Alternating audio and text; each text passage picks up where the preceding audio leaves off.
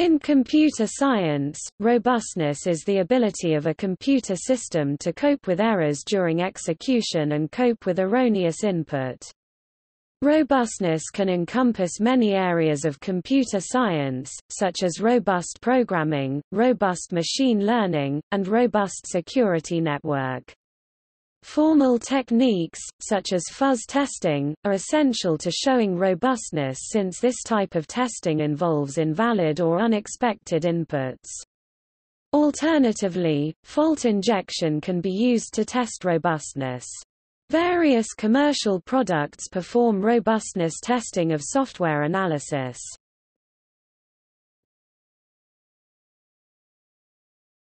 Topic: Introduction In general, building robust systems that encompass every point of possible failure is difficult because of the vast quantity of possible inputs and input combinations. Since all inputs and input combinations would require too much time to test, developers cannot run through all cases exhaustively. Instead, the developer will try to generalize such cases. For example, imagine inputting some integer values. Some selected inputs might consist of a negative number, 0, and a positive number. When using these numbers to test software in this way, the developer generalizes the set of all reals into three numbers.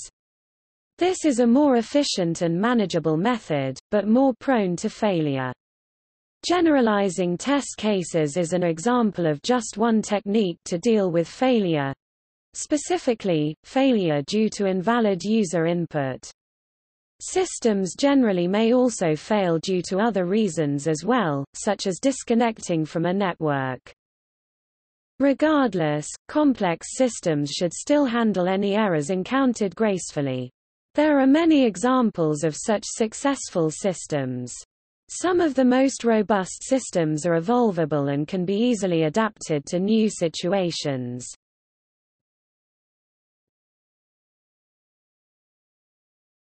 Topic: Challenges. Programs and software are tools focused on a very specific task, and thus aren't generalized and flexible. However, observations in systems such as the Internet or biological systems demonstrate adaptation to their environments. One of the ways biological systems adapt to environments is through the use of redundancy. Many organs are redundant in humans. The kidney is one such example. Humans generally only need one kidney, but having a second kidney allows room for failure. This same principle may be taken to apply to software, but there are some challenges.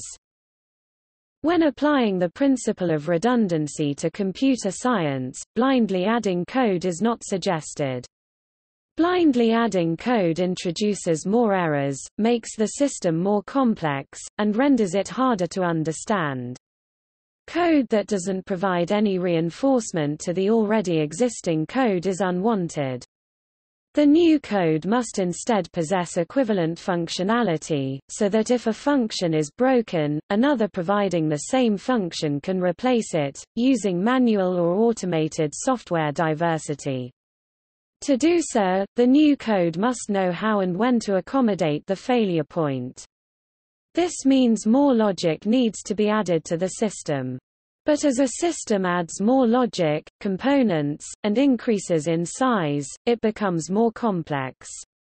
Thus, when making a more redundant system, the system also becomes more complex and developers must consider balancing redundancy with complexity. Currently, computer science practices do not focus on building robust systems. Rather, they tend to focus on scalability and efficiency. One of the main reasons why there is no focus on robustness today is because it is hard to do in a general way.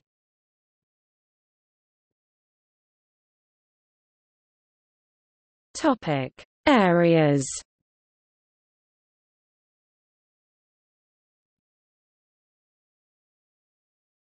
Topic: Robust programming. Robust programming is a style of programming that focuses on handling unexpected termination and unexpected actions. It requires code to handle these terminations and actions gracefully by displaying accurate and unambiguous error messages. These error messages allow the user to more easily debug the program.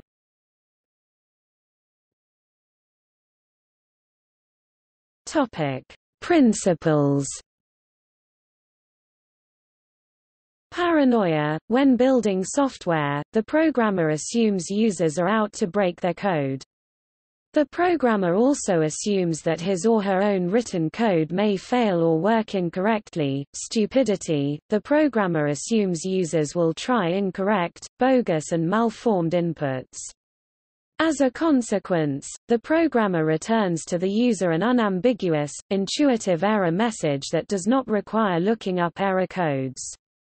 The error message should try to be as accurate as possible without being misleading to the user, so that the problem can be fixed with ease.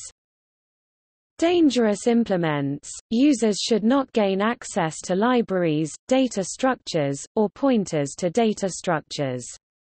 This information should be hidden from the user so that the user doesn't accidentally modify them and introduce a bug in the code. When such interfaces are correctly built, users use them without finding loopholes to modify the interface. The interface should already be correctly implemented, so the user does not need to make modifications. The user therefore focuses solely on his or her own code. Can't happen. Very often, code is modified and may introduce a possibility that an impossible case occurs. Impossible cases are therefore assumed to be highly unlikely instead. The developer thinks about how to handle the case that is highly unlikely, and implements the handling accordingly.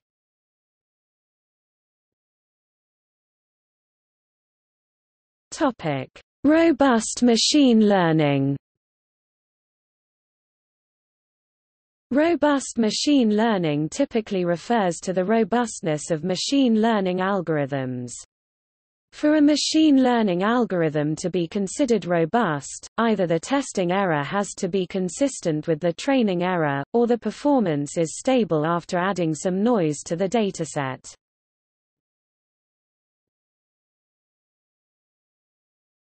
Topic: Robust network design.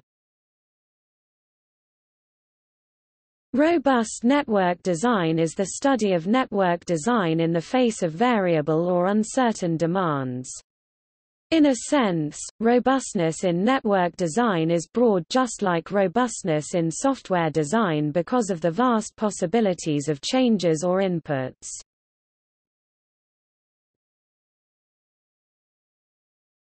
Topic: Robust algorithms. There exists algorithms that tolerate errors in the input or during the computation. In that case, the computation eventually converges to the correct output. This phenomenon has been called correctness attraction.